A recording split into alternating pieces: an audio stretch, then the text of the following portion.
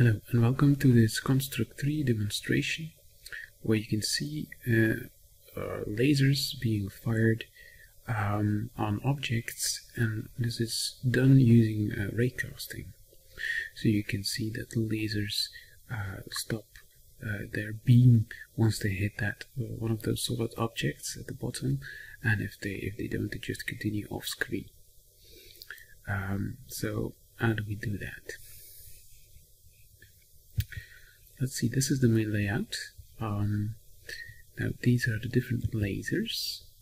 And these layers have uh, two behavior essentially. They will moving from the left to the right constantly. And this is done by uh, using the sine behavior. You can see here the sine behavior has got a number of settings. But first and foremost the movement is set to horizontal movement. In a sine wave where uh, the period is 5 and a magnitude of 200 that takes care of moving the, the lasers from the left to the right at the speed you just saw. Um, and the second one is very important um, that's the line of sight behavior. So lasers have a line of sight behavior because then they can kind of look further onto the layout if there are obstacles in a certain direction um, and in order to do that, we have to tell them which obstacles it has to look for. Now, standard, this is set to solids, but these um, objects here have, do not have the solid behavior. That would have been one option, but uh, instead this is set to custom. And you'll see what it implies in just a minute. We have a range which is pretty far, which goes far beyond the uh, the height of the layout. Um, and the cone of view is very very very narrow so we shouldn't be looking towards the left or towards the right. You should actually be looking in a very narrow cone towards the bottom of the layout. So that's uh, what's happening here with the sine and the line of sight uh, behavior. Um, here we also have these particle effects. The part, let's preview the particle effects. That's what the particles do. Um, and at the end of the day, uh, the particles and the laser are uh, set into the same container. So you can see here the laser is in the same container as the particle. So that means that uh, whenever a laser is spawned, a particle will also be spawned. You don't have to do anything for that in the event sheet actually. So that's about it. I want to show you one last thing. If I double click here on the layout, you see that it's actually a horizontal layout. Uh, so the laser is is put horizontally inside the sprite and there is one image point here at the left hand side but because this is rotated in an angle of 90 degrees you can see that here that image point is here at the bottom and that's important because you'll see what it's what it's for in just a minute. Um, so this is the event sheet. And what's happening here because the line of sight behavior of the laser is set to custom we need to tell the laser which obstacles to search for which obstacles are to stop the laser actually. And that's very easy. Uh, we need to call an action called add obstacle from the laser and then we just tell it which object types are to be its obstacles. And you see here we have two uh, instances or two actions here. Uh, one for the tile background which is the blue one and one for the laser wall which is the, the green.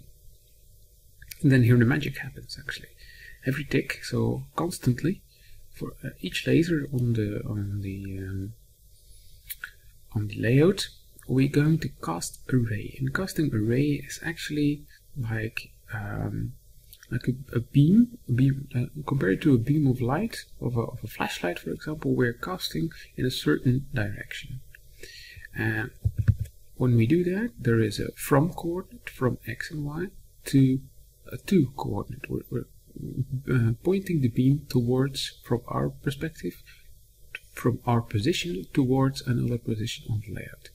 So our position means self x and self y and 2 the self x and the self y plus 2000 that means that if this is laser here it goes from here to uh, x plus 2000 which is way back here under the layout. So from there to there it's casting array. In a very small cone of view the cone of view is only 0.1 so it's a very narrow very long beam we're casting but that doesn't do anything when you cast a ray, you don't see that visually it's just uh, ray casting is just to check if that obstacle if, it, if there is an obstacle somewhere along that beam. It just tells you uh, if I were to cast a ray, an invisible ray toward that direction, would I hit something? Yes or no? And construct tells you that you hit something using an event called ray intersected. This is an event, line of sight, ray intersected. Whenever you do that, uh, you have uh, you have two um, expressions at your uh, disposal to check where that has been hit, where the where the, the ray has been has been hitting an object actually uh, from uh, when when it intersected. And those two expressions are hit x and hit y, and this is one we're going to here we're going to do here. Uh, so what happens here? Uh, the width of the laser is set to the hit y coordinate minus the self y coordinate. So that's the exact distance between the place where the ray intersected and its own y coordinate. Uh, but it's setting the width because actually the laser is horizontal if you remember and it's just rotated 90 degrees so we have to set the width and not the height. And if the ray didn't intersect anything we just set the height to a ridiculously high value so it's just appearing to go off the, uh, the layout actually. And the last thing that's done that um, is the particles object, which is in the same container as the laser object, so it's spawned automatically and picked automatically as well. Uh, together with the laser it belongs to, it's just set at the position uh, of the laser image point 1, and that's the image point I showed you earlier. That's where it's set to. So that's it, that's how this works. Hope you liked it. As always, please like and subscribe and see you next time.